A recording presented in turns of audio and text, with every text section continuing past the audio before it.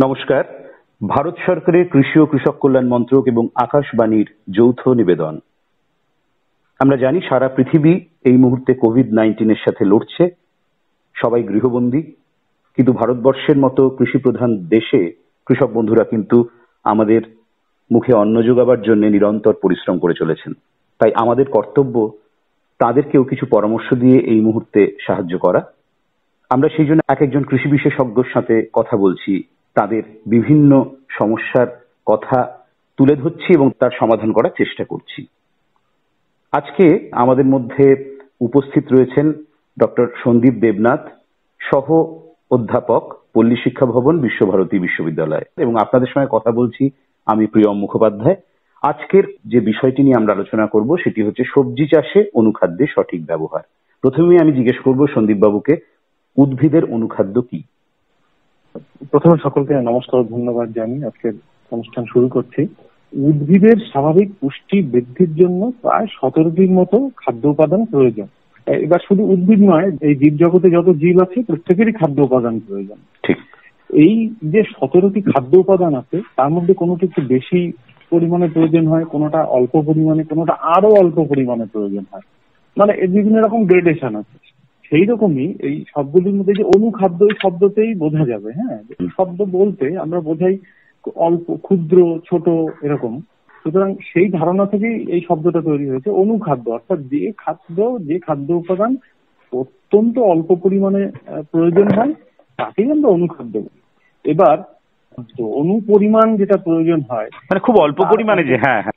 ধরুন ভাত আমরা অনেক বেশি খাই। এবার ডালটা তার থেকে আরেকটু কম খাই। যে পরিমাণ ভাত খেলাম সে পরিমাণই যে সমস্ত রকম খাদ্য উপাদান আমরা তত পরিমাণে যে মশলা খাই এরকমটা নয়। বা আমরা যে তরকারি রান্না করে খাই সবজি রান্না করে খাই তাতে যে নুনের মাত্রা থাকে সেটাও কিন্তু প্রয়োজনীয়। মশলার যে মাত্রা থাকে সেটাও প্রয়োজনীয়। কিন্তু নির্দিষ্ট পরিমাণ আছে। হ্যাঁ, মানে কোনোটা বেশি লাগে কোনোটা কম লাগে। হ্যাঁ। কোনোটা কম লাগে। সেই অনুখাদ্য হলো এই তরকারিতে অনেকটা নুনের মতো। খুব অল্প পরিমাণ উদ্ভিদের জন্য প্রয়োজন আবার যদি এই অনুখাদ্য যা খুব এই অনু পরিমাণে প্রয়োজন হয় তা যদি উদ্ভিদ না পায় তাহলে কিন্তু উদ্ভিদের পুষ্টি এবং বৃদ্ধিতে ব্যাহত হবে সেটা কিন্তু চোখে পড়ার মতো। এইখানে প্রশ্নটা করছি যে অনুখাদ্যের প্রয়োজনীয়তা তাহলে কতটা উদ্ভিদের ক্ষেত্রে? হ্যাঁ অনুখাদ্যগুলি কিসে মানে কিসের জন্য দরকার? মূলত উদ্ভিদের শরীরে ভিটামিন এবং হরমোন তৈরিতে অনুখাদ্যের ভূমিকা রয়েছে। মানে অনুখাদ্য যদি না পায় উদ্ভিদ তাহলে ভিটামিন হরমোন তৈরি হবে না। সালোক সংশ্লেষ শ্বসন ভূমিকা রয়েছে। উদ্ভিদের দেহে জলের যে ব্যালেন্স রাখা তাতে ভূমিকা রয়েছে। ঠিক। তারপর মাটি থেকে যে উদ্ভিদ অন্যান্য যে সমস্ত খাদ্য উপাদানগুলোকে তুলে নেয় সেই প্রক্রিয়াতেও অনুখাদ্যের ভূমিকা রয়েছে। ডাল জাতীয় যেগুলি শস্য সিম্বি জাতীয় যে উদ্ভিদ তার শেকড়ে যে গুটি থাকে সেই গুটি তৈরিতেও সাহায্য করে। হুম মানে সাহায্য করে মানে কি না থাকলে হয়তো অনেক সময় এই যে যতগুলো আমি বললাম এর অনেকগুলো হয়তো হবে না। এবং উদ্ভিদের যে বৃদ্ধির যে ব্যাহত হবে সেটা লক্ষণীয় হবে বোঝা যাবে দেখে।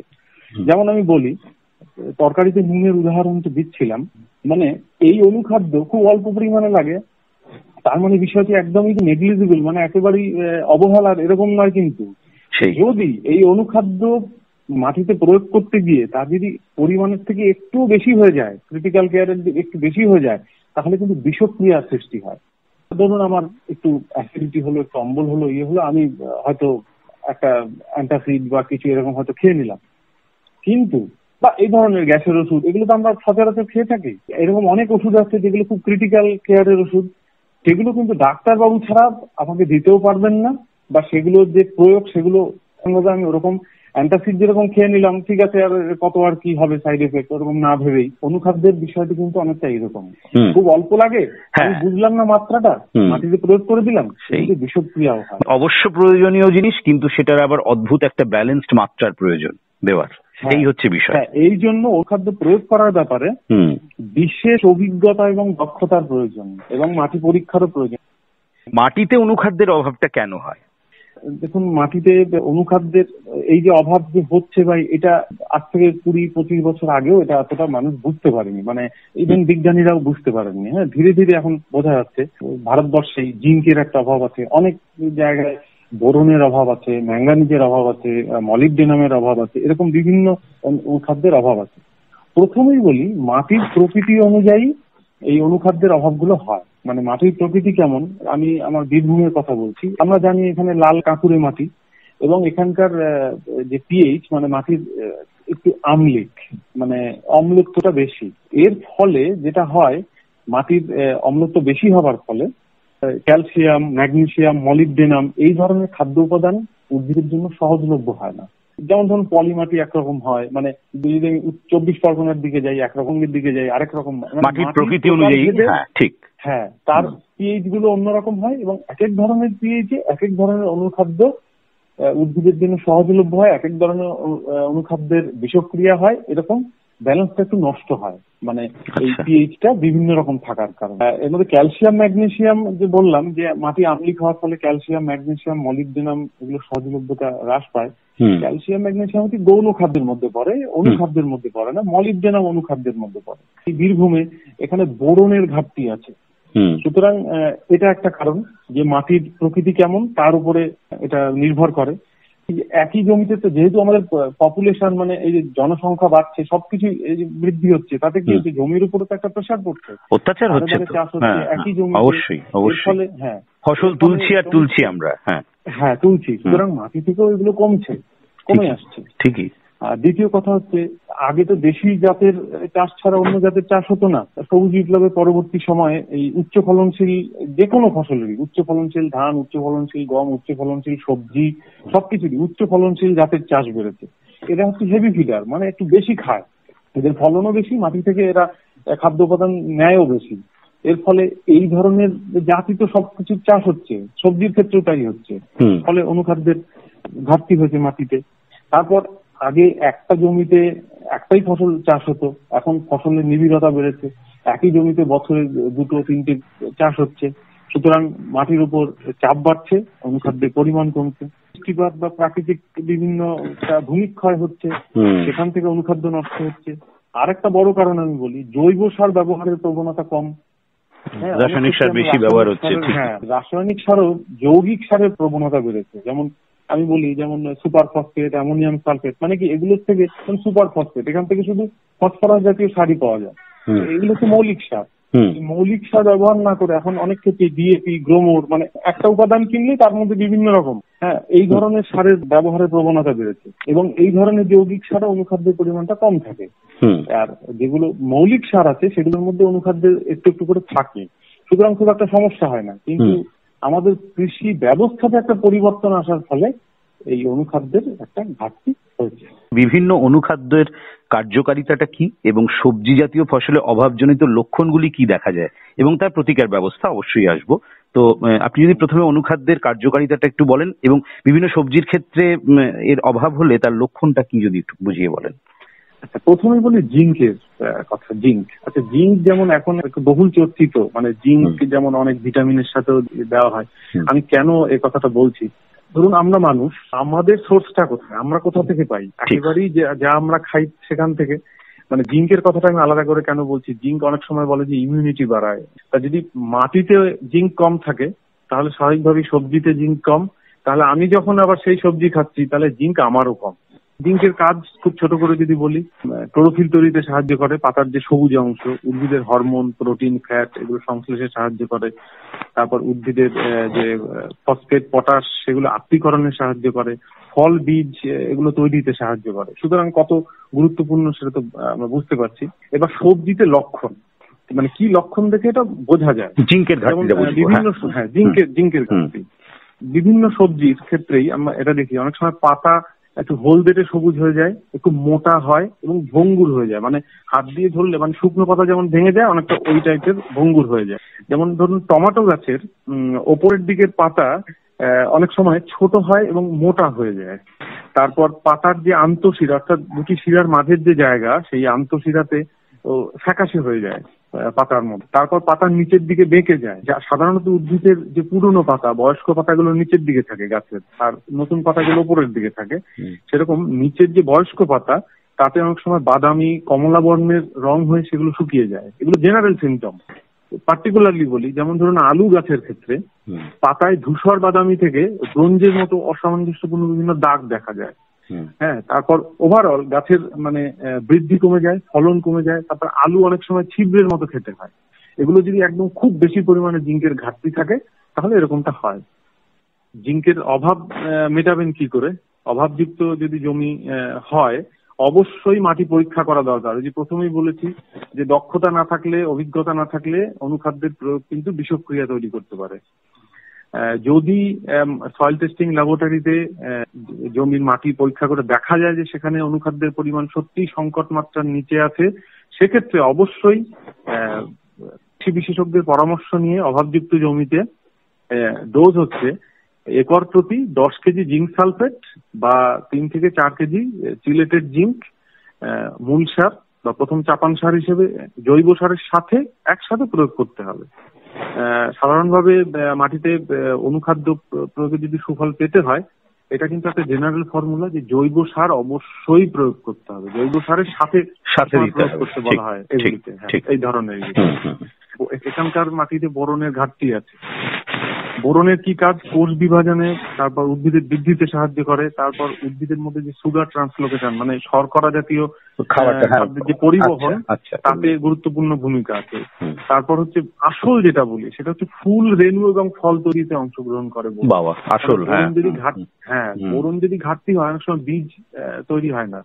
আমরা বলি স্পাইকলেট স্টেরিলিটি মানে ফলন নেই কিছু। মানে এতটা চাষ করে এত কিছু করে মানে সব দিলাম নাইট্রোজেন ফসফরাস সবকিছু হলো। ফসলই বোরন এত হ্যাঁ, হ্যাঁ মানে বীজের ভেতরে কিছু নেই। ফাঁপা।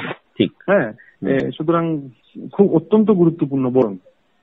সবজিতে উম, বোরনের অভাব খুব সুন্দর লক্ষ্য করা যায়। আমরা তো নিয়মিত অনেকে যারা বাজারে যাই বা চাষি বন্ধুরা তো জানেনি ফুলকপি বা বিটের আমরা কিন্তু বাজারে গেলেও দেখবেন এরকম ইয়ে থাকে ফুলকপি নিয়ে যখন থাকে তার ভেতরে আহ, কাণ্ডটা ফাঁপা। এরকম ফুলকপি কিন্তু আমরা দেখি এই যে ফাঁপা হয়ে পড়তে শুরু করে। এটা কিন্তু বরণের অভাবে হয়। তারপরে বলি ফুলকপির যে ফুল মানে ফুলকপি ফুলটা যে ফুটছে আর কি ফুলটা যেটা আমরা খাচ্ছি প্রথমে গোলাপি রঙের তারপর ধীরে ধীরে কালচে বাদামি হয়ে শক্ত হয়ে যায়। এটা খুব চেনা একটা চাষি ভাইরা চেনেন। তারপর বাঁধাকপির মাথা ফাঁপা হয়ে যায়। তারপর আহ, মাথার ভেতরের থেকে ভেতরের দিক থেকে যে কচি পাতা বাদামি হয়ে নষ্ট হয়ে যায়। আমরা অনেক সময় বাড়িতে এনেও ফুলকপি বাঁধাকপিতে এই ধরনের আহ, লক্ষণ কিন্তু দেখুন পাওয়া যায়। হ্যাঁ তারপর হচ্ছে বাজারে যে ডাঁটায় পাওয়া যায় তার ভিতরে ওই কালচে পচা গর্ত হয়। কালচে বাদামি যুক্ত হ্যাঁ ফুলযুক্ত ফুলকপি হয় তারপর ফাঁপা মাথাযুক্ত বাঁধাকপি এগুলো সব বোরনের অভাব। তারপর হচ্ছে মূলো তারপর শালগমের ক্ষেত্রে এই ডগার কুড়ি শুকিয়ে যায়। পাতা একেবারেই বর্ণহীন টাইপের হয়ে আসে শুকরে যায়। তারপর শিকড়ের বৃদ্ধি হয় না শিকড়ের ভেতরের অংশ কালো বর্ণের হয়ে যায়। টমাটোর ক্ষেত্রে ডগার কুড়ি শুকিয়ে যায়। তারপর পাতা মোটা হয় ওই ভঙ্গুর হয় মানে। একেবারে কেমন ধরলে পর ভেঙে যাবে। টমাটোর যে ফলের খোসা সেটা খসখসে হয় ফল ফেটে যায়। আচ্ছা বেগুনের খোসা ফেটে যায় এগুলো খুব কমন সিমটম তারপর আলুর পাতাটা কেমন যেন মনে হয় ড্রাই হয়ে শুকনো শুকনো হয়ে গেল মানে জলীয় ভাবটা যেন কমে যায়। ঠিক। আচ্ছা তারপর বলি আহ, আলুর যে শেকড় শেকড়ের একদম আহ, অগ্রভাগ সেটা শুকিয়ে যায়। আলু ছোট ছোট হয় আলু ফেটে যায় এখন। তারপর রসুনের গাছ খুব ভালো বাড়ে না। তারপর রসুনের যে যে কুশিগুলো সেই সংখ্যা কম হয় ছোট ছোট হয়। তরমুজ লাউ গাছে স্ত্রী সংখ্যা কম হয়। আচ্ছা। এটা কিন্তু অনেকেই আমরা বুঝতে পারি না হ্যাঁ? মানে এই যে যারা এই লাউ গাছের সমস্যা অনেক ক্ষেত্রেই হয় যে স্ত্রী ফুল হচ্ছে না ফলে লাউ হচ্ছে না। বোরনের আহ, প্রতিকার হচ্ছে যদি জমি অভাবযুক্ত হয় সেই মাটি পরীক্ষা করাতে হবে। প্রথমে মূল সারের সঙ্গে যখন আমি মানে জমি তৈরির সময় যখন মূল সারটা দেয়া হয় আর কি তখনই একর প্রতি চার কেজি বোরাক বা সোহাগা প্রয়োগ করা হয়। বোরাক বা সোহাগা কিন্তু পাওয়া যায় দোকানে পাওয়া যায়। অথবা এক্ষেত্রে আরেকটা কথা বলে রাখি যে এই যে বলছি যে বিশেষ দক্ষতার প্রয়োজন মাটিতে অনুখাদ্য প্রয়োগ করতে গেলে না হলে বিষক্রিয়া হয়। এক্ষেত্রে একটা রেকমেন্ডেশন একটা সুপারিশ আছে। বোরন বা- যে কোনো অনুখাদ্য পাতাতেও স্প্রে করা যেতে পারে। তাহলে মাটিতে যদি না পড়ে তাহলে পরবর্তী ফসলে এই বিষক্রিয়ার কোনো আর প্রশ্ন থাকে না। যদি আমি বুঝতে পারছি না সেক্ষেত্রে পাতাতে দেয়াই ভালো। কারণ মাটিতে অনেক সময় হয়তো দেয়া বেশি হয়ে গেল কি হলো অনেক সমস্যা হতে পারে। পাতায় স্প্রে করার জন্য ডোজ হচ্ছে দু গ্রাম বোরাক্স কিংবা সলুবোর হ্যাঁ। প্রতি লিটার জলে গুলে বীজ বোনার কুড়ি পঁচিশ থেকে তিরিশ দিন এবং আবার আরও কুড়ি পঁচিশ থেকে মানে মোট প্রথমটা পঁচিশ দিন পর তারপরটা ধরুন চল্লিশ থেকে পঁয়তাল্লিশ দিনের মাথায় প্রয়োগ করা যেতে পারে। আচ্ছা আর কোন অনুখাদ্যের কথা? হ্যাঁ। হ্যাঁ। আর বোরাক্স দেওয়ার নিয়মটা একটু বলে দিই যে সামান্য গরম জলে বোরাক্স দ্রবীভূত করে তারপর সেটাকে ঠান্ডা করার পর প্রয়োগ করতে হয়। এটা হচ্ছে আচ্ছা। বোরাক্সের নিয়ম। আচ্ছা। মানে ঠান্ডা জলে গুলো ওরকম দিয়ে দিলে হ্যাঁ। এটা হয় না। তারপর আমি বলি মলিবডেনাম এখানকার খুব বড় সমস্যা। মলিবডেনামও গাছের শাখা প্রশাখা পাতা এগুলো বৃদ্ধি করে নাইট্রোজেন আবদ্ধকারী জীবাণু রাইজোবিয়ামের কর্মদক্ষতা বাড়ায় উৎসেচকের উপাদান অনেক উদ্ভিদের অনেক কাজে আছে ইয়েতে আসে। এবার আহ, সবজির ক্ষেত্রে বলি যেমন ফুলকপির পাতায় কেবলমাত্র মধ্যশিরা থাকে আর ফলক অংশ থাকে না হ্যাঁ এরকম অদ্ভুত এক সিমটম হয়। মানে শুধু মধ্যশিরতা ও পাতার ফলকটা নেই। পাতাটা অনেক সময় কাস্তের মতো দেখতে হয়ে যায়। আচ্ছা আচ্ছা। হ্যাঁ এটা একবারে এই কাস্তে ফুলকপির কাস্তে পাতা রোগ বলেই এটা পরিচিত। আচ্ছা আচ্ছা। তো এর হ্যাঁ, প্রতিকার ব্যবস্থা প্রতিকার কি হতে হ্যাঁ। পারে?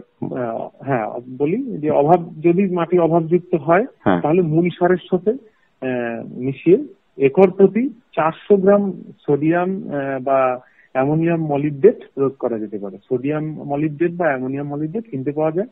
অথবা যেটা সব থেকে ভালো বলেছি পাতা স্প্রে করাটা সব থেকে ভালো পাতা স্প্রে করার জন্য সোডিয়াম বা অ্যালুমিনিয়াম মলিবডেট শূন্য দশমিক পাঁচ গ্রাম মানে এক গ্রামও নয়। শূন্য দশমিক পাঁচ গ্রাম প্রতি লিটার জলে গুলে বীজ বোনার তিরিশ দিন ও পঁয়তাল্লিশ দিনের মাথায় প্রয়োগ করতে আচ্ছা আমাদের সময় হ্যাঁ। খুব কম।